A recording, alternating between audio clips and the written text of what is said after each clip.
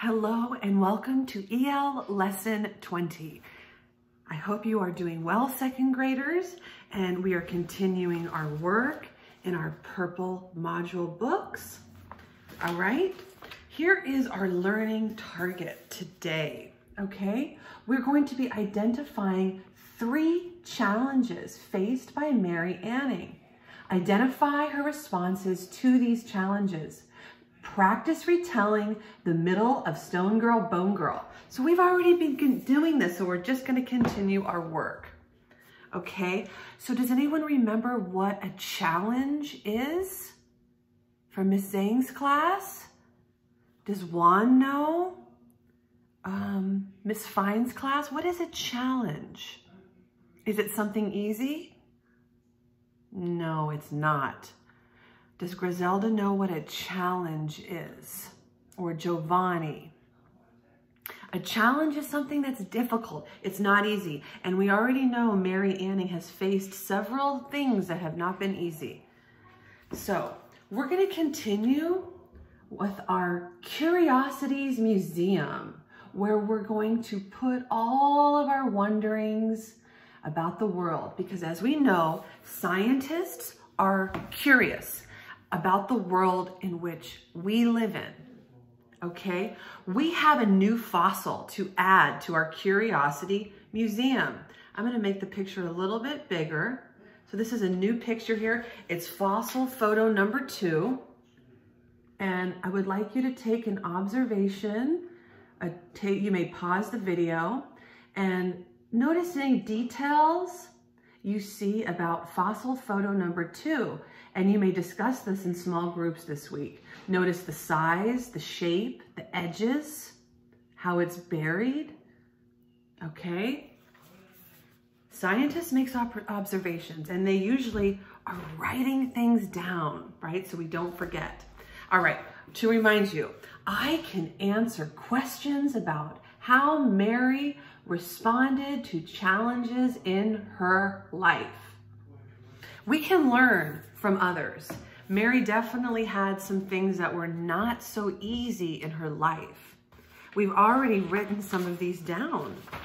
On page 72, we talked about how Pepper died and they had no money. And Mary and her mother went to bed hungry and her mother began to sell everything she could. Wow, so we already have a list of, of not so easy things. Let us continue with the story Stone Girl, Bone Girl. And I love these vivid illustrations.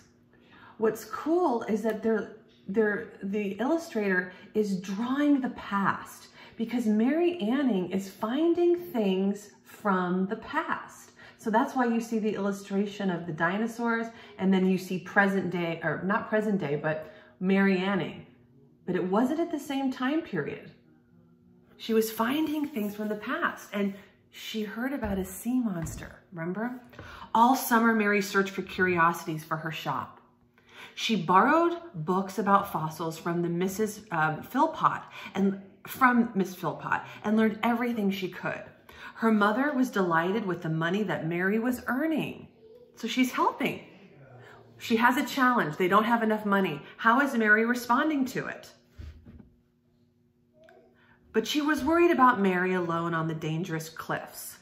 Mary reassured her that the little dog would run for help in an emergency. Because remember, Mary found a dog?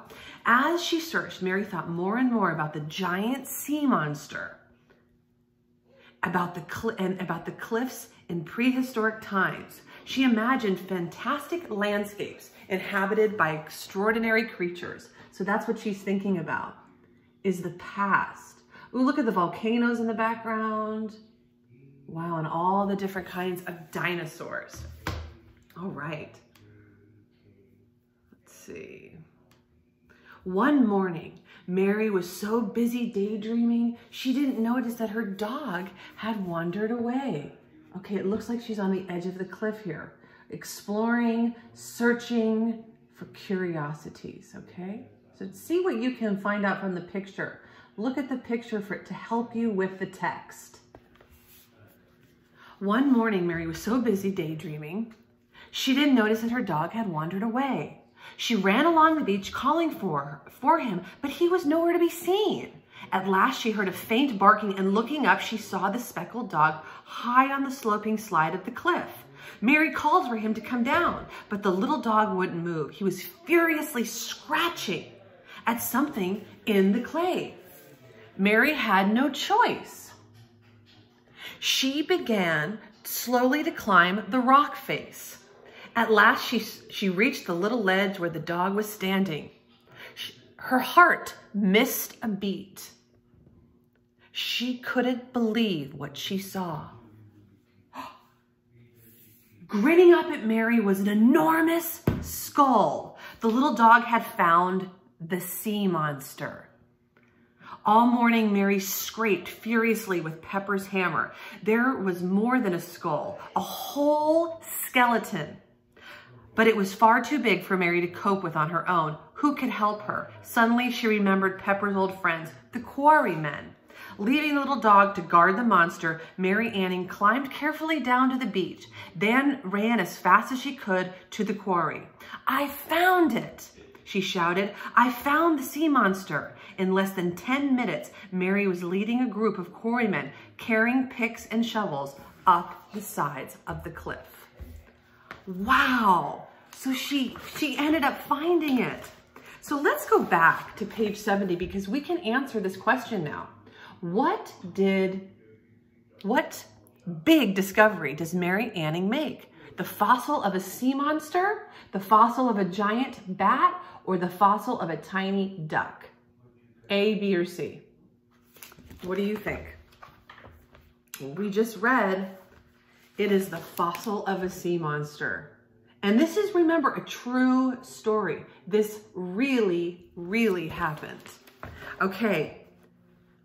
Wow. What else can we finish? Well, in small groups, I want you to continue retelling the middle of the story. Now, more action has happened. And I also would like you to, tell, to talk about in small groups with Mr. Gregory and Miss Vanessa about how Mary is responding to the challenges in her life. All right? So I cannot wait to hear about your discussions in small groups. And what we can learn is when there's challenges, what can we do in our own life to meet them head on? Okay, thank you for your attention. I appreciate your time and I will see you next time.